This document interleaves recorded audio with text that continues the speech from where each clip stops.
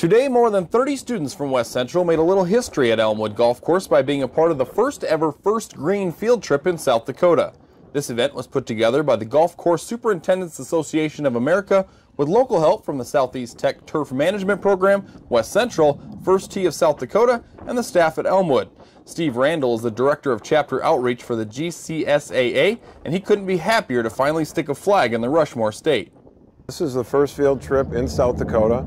Uh, First Green is a GCSAA program, and it is our goal to ultimately have a program in all 50 states.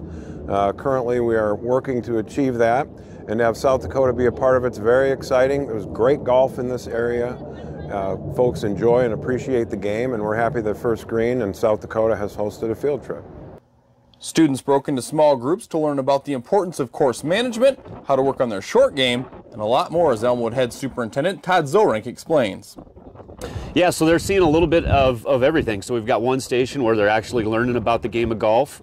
Uh, we've got another station where they're learning about uh, the different soils and soil properties.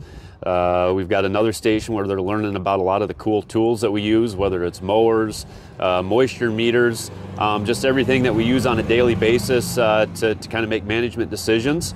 Um, there's also another station where they're learning uh, all about water and irrigation from conservation to things that go into uh, our decisions on, on how we water daily. And then uh, there's also a, a pollinator uh, station where they're learning about uh, uh, different tree species, different flowers, and just some of the different habitat that's located on the golf course. Kids like Beckett enjoyed getting their hands on the specialized equipment that the pros use to keep our tee boxes tight, fairways fast, and greens in great shape all season long. They also learn the importance of what's under the grass as well. So we're learning how to keep the golf course uh, kind of good and about trees so far, basically.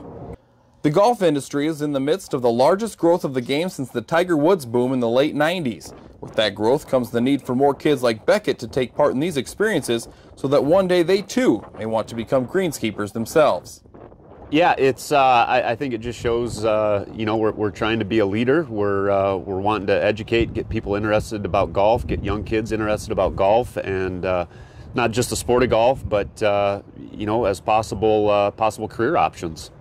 I think it's great for students to bring the experience back to their parents and to other students so they can see, hey, we were on the golf course today. It's a great opportunity and a great experience to put golf in a positive light showcase golf again as an important asset and aspect of every community.